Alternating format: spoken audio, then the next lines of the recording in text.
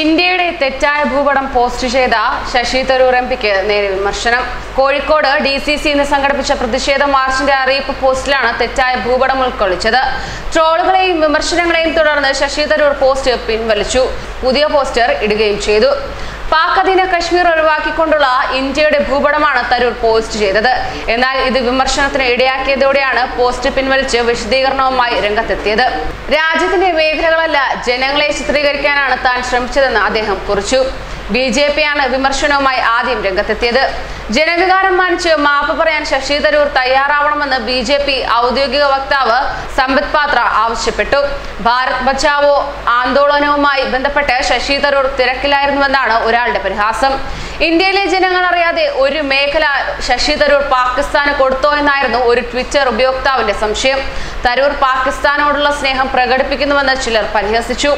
ദേശീയ വികാരത്തെയാണ് ശശി തരൂർ അപമാനിക്കുന്നതെന്നും ചിലർ വിമർശിക്കുകയുണ്ടായി.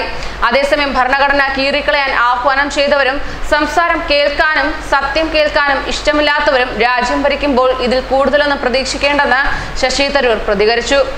ഭരണഘടനയെ മാറ്റി ഹിന്ദു രാജ്യമാക്കാനുള്ള നീക്കമാണ് നടക്കുന്നത്. ഇതിന് സമ്മതിക്കാതിരിക്കേണ്ടത് നമ്മൾ ഓരോരുത്തരുടെയും കടമയാണെന്നും ശശി തരൂർ പറഞ്ഞു.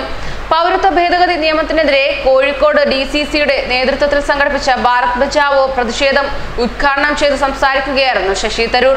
ജനാധിപത്യം ഇല്ലാതാവുമ്പോഴാണ് അതിന്റെ വില മനസ്സിലാവുക.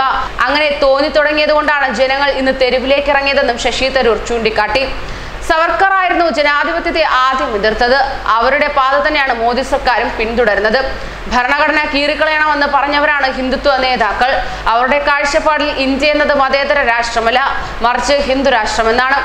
ഇത് നടപ്പിലാക്കാനുള്ള ശ്രമമാണ് നടക്കുന്നത്. ഇത് അനുവദിച്ചു കൊടുക്കാൻ കഴിയില്ലെന്നും അദ്ദേഹം പറഞ്ഞു. തരൂരിന്റെ പ്രസംഗം വരെ സമാധാനപരമായി നീങ്ങിയ പ്രതിഷേധ പരിപാടി ഉദ്ഘാടനത്തിന് ശേഷം സംഘർഷത്തിലേക്ക് എത്തി പ്രതിഷേധക്കാർ ഹെഡ് പോസ്റ്റ് ഓഫീസിലേക്ക് തള്ളിക്കയറുകയും കല്ലേർ നടത്തുകയും ചെയ്തു. അപ്രതീക്ഷിതമായി നടന്ന പ്രതിഷേധ പരിപാടിയിൽ പോലീസും സമ്മർദ്ദത്തിലായതോടെ കാര്യങ്ങൾ ലാത്ത ചാർജിലേക്കും എത്തി. ഒരു കൂട്ടം പ്രവർത്തകർ ജലപീരങ്കിയുടെ മുകളിലേക്ക് കൊടിയുമായി കയറിയതോടെയാണ് പോലീസ് ലാത്തി വീശിയത്. തുടർന്ന് പ്രവർത്തകരെ നേരിടാൻ പോലീസ് ജലപീരങ്കി ഉപയോഗിച്ചു. യു ഡി എഫിന്റെ കോർപ്പറേഷൻ കൗൺസിലർ വിദ്യാ ബാലകൃഷ്ണനെ പോലീസ് നിലത്തിട്ട് വലിച്ചാണ് അറസ്റ്റ് ചെയ്തത്. D C C president T Siddique K P C C secretary Praveen Kumar തുടങ്ങി അറുപതോളം പേരെ പോലീസ് അറസ്റ്റ് ചെയ്തു. ന്യൂസ് ഡെസ്ക് മലയാളി വാർത്ത.